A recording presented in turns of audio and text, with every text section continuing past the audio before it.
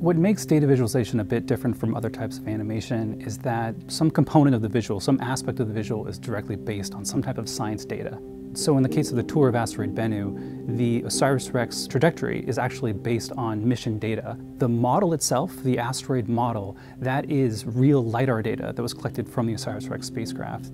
The imagery that you're seeing wrapped to the surface of Bennu, that is actual satellite imagery taken by the spacecraft. And so that's kind of the difference between visualization and animation is we're showing the real data. This is the real asteroid. So if we zoom all the way in on a boulder, that's the real boulder. That's, that's what it looked like from the perspective of the spacecraft. I'm Kel Elkins, and I was the lead data visualizer on the tour of asteroid Bennu. I'm Dan Gallagher. I was the producer and writer on the tour of asteroid Bennu. Tour of Asteroid Bennu was inspired by an earlier video that was also made by NASA Scientific Visualization Studio, and that video was called Tour of the Moon. The visualizer, Ernie Wright, used elevation data and high-resolution imagery from a NASA spacecraft called the Lunar Reconnaissance Orbiter, and he was able to fly the camera very close to the lunar surface and show the actual textures, uh, shadows, highlights, just the way that they would appear if you were hovering close to the surface of the moon. So we kind of borrowed some of those techniques for the tour of asteroid Bennu, really using lighting as a way to help viewers understand the shape of Bennu and the shape of, of, of these different geological features we were zooming in on, which, which just it, it really helped the visualization come to life. So a good example of how we use LiDAR comes about halfway through the video when we take viewers to a boulder called the Gargoyle.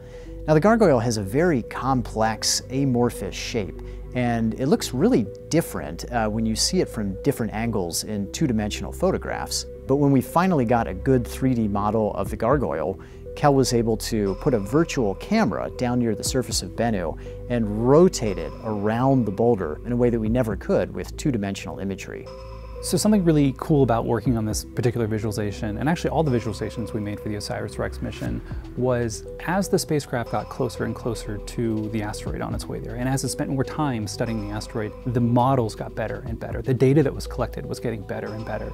So some of our early visualization tests, we had this relatively low poly model of the asteroid and we could only push in so far with the camera. You can't push in too far because then you just see you know, individual polygons. But as we got further and further along, we ended up with five centimeter resolution tiles you could push all the way into individual boulders. And that's just the nature of how these science missions work. The more time you spend with something, the more data collect, uh, the better the models get.